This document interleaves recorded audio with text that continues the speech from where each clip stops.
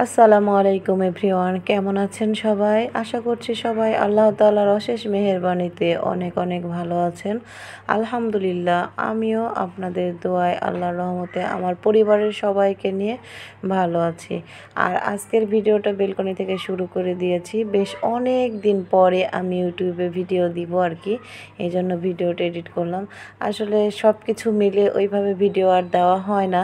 মনটাও খারাপ লাগে যে অনেক আগের একটা চ্যানেল ওইভাবে কাজ করতে পারি না। তারপরে সব কিছু মিলিয়ে চেষ্টা করি একটু সময় বের করে মাঝে মাঝে আর কি দেওয়ার। যখন এডিট করতে বসি তখনই এত শব্দ, তখন এডিটিং করার মনটা আসলে নষ্ট হয়ে যায়। এই কারণে অনেক সময় দেওয়া হয়ে ওঠে না। যাই হোক, বারান্দা বাগানে হালকা মানে কিছু ফুল ফুটেছে।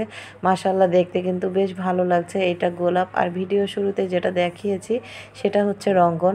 গাছটা প্রায় মরেই গেছিল, তারপরেও রেখেছিলাম। তারপরে আল্লাহ পাকের কি ইচ্ছা দেখেন?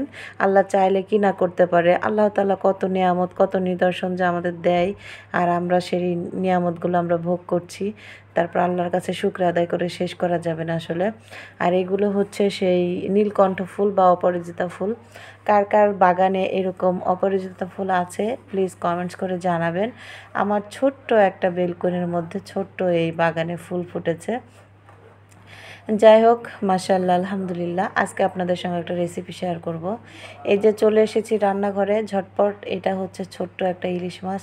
আসলে সব কিছু যে পরিমাণ দাম, আমাদের মতো মধ্যবিত্ত মানুষদের সব কিছু মিলিয়ে খাওয়া আমাদের জন্য আর কি কঠিন, বাজার করে আর কি।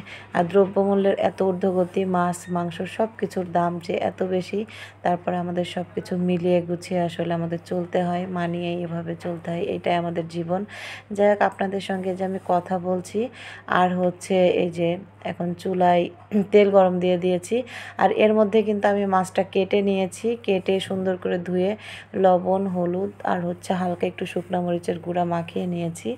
আর যদিও ভিডিওটা আগের করা, উপরের দিকে একটু এই যে আবছা করে দিয়েছে, ওখানে আমার হাতটা একটু বেশি দেখা যাচ্ছিল। এই জন্য আমি ওখানে ওই রকম করে রেখেছি। যাক, মাছটা আমার ভেজে নেওয়া হয়ে গেছে। এখন আমি মশলা কষিয়ে নিচ্ছি। এটা হচ্ছে একদম সিম্পল ইলিশ মাছের ঝোলের একটা রেসিপি আপনাদের সঙ্গে শেয়ার করলাম। হয়তো অনেকে এই রেসিপিটা পারেন, আর যেসব আপুর একদম নতুন সংসার জীবনে, তাদের একটু হলেও উপকারে লাগবে। তাই চেষ্টা করলাম যে নতুন যেসব আপুরা তাদের জন্য আর কি দেওয়ার।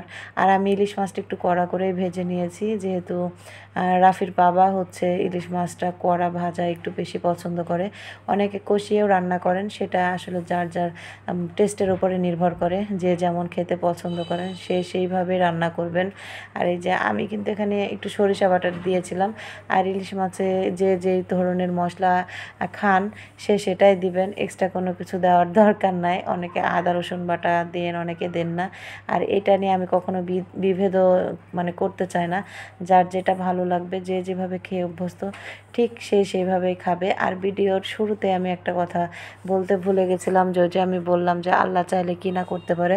আসলে আমার এই গাছের বাগানের যে প্রথমে রঙ্গনের গাছটা দেখলেন, গাছটা প্রায় মরেই গেছিল, আবার আল্লাহ পাকের ইচ্ছায় গাছটা হয়েছে, আবার ফুলও ফুটেছে মাশাল্লাহ আলহামদুলিল্লাহ। আর এই যে কথা বলতে বলতে আমার রান্না প্রায় শেষের দিকে। আর এই যে দেখেন, একদম ফাইনাল লুক রান্নার, আমার ক্যামেরাটা অত বেশি ভালো না, তারপরে মাসাল্লাহ বেশ ভালো এসেছে। ধন্যবাদ সবাই